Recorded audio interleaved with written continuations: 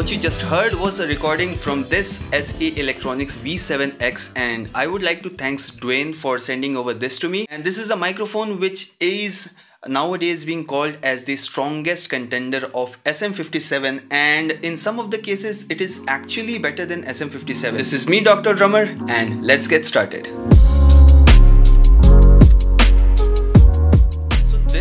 Microphone is uh, basically an instrument microphone and this is a smaller sibling of SEV7 which is more focused towards vocals. Taking a closer look at this mic, the color and design can grab one's attention immediately. The bright red color peeking through the grills give this microphone a very premium look. This is a super cardioid dynamic microphone which means it does not need any kind of phantom power to run. The microphone is completely metal built and the steel mesh grills literally have no give which means this microphone is going to last for a really long time and no matter how you use it, how roughly you use it or even if you throw it on the stage or from the stage. SE Electronics also claim to have this free floating or what they call integrated shock mount which tends to reduce low rumble and vibrations from the stage or from the instruments while recording.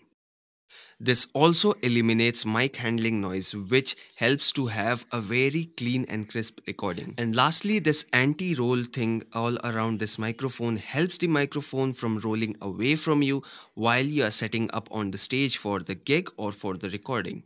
Enough of the talking, let's go to the drum kit and see how it sounds on the snare.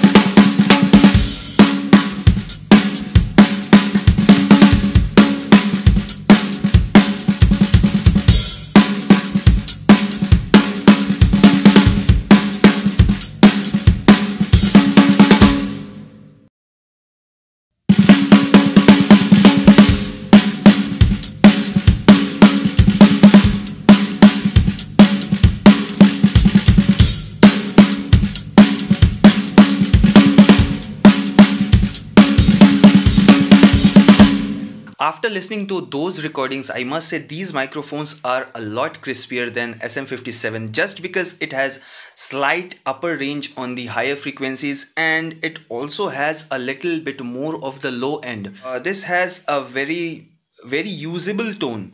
You can uh, do a lot of things with this and it has a lot of information i think a bit more information than the sm57 i'm not saying sm57 is bad at all but both the microphones have their different characteristics and according to me I find the tone of this microphone very usable. This also sounds a bit more natural and it has a bit flatter response than SM57 where you find a slight boost in the mids and the highs but uh, this has a bit boost in the low end and yes you can obviously call this close to flat because uh, this does not have that much of the boost where you can call this this microphone to be called a bit more colored. This has a more of a flatter frequency response. This can be used on your snares. You can use this for recording your acoustic guitars and you can obviously use this to record your uh, electric guitars uh, miking this up on amp and obviously the shape of this microphone allows you to get closer to the amps and closer to uh, drums or whatever you want to record it.